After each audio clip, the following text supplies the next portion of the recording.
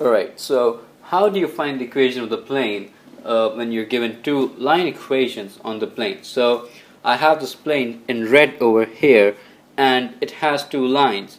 Line 1 is 2, 1, 1 plus lambda 3 minus 1, 4. Line 2 is 1, 1, 1 plus mu 1, 2, 3.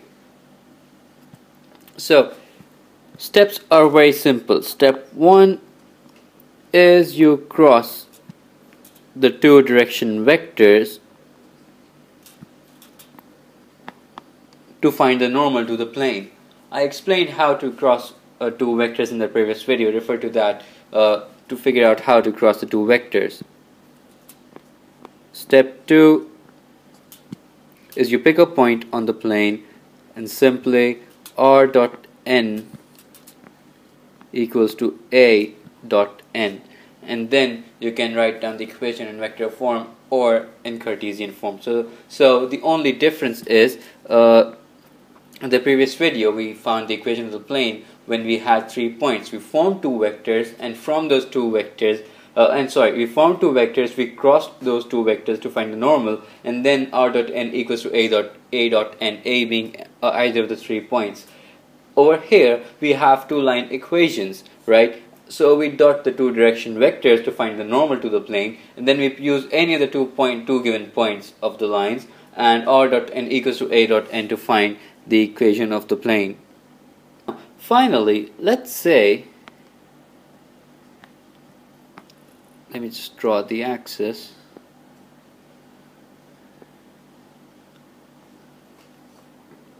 let's say you have this plane over here you're given a line on the plane and you have another line that's parallel to the plane but it's not on the plane it's off the plane. So how do you find out the equation of the plane in this case? In this case all you have to do is cross the two direction vectors to find the normal then simply find out a fixed point on the plane.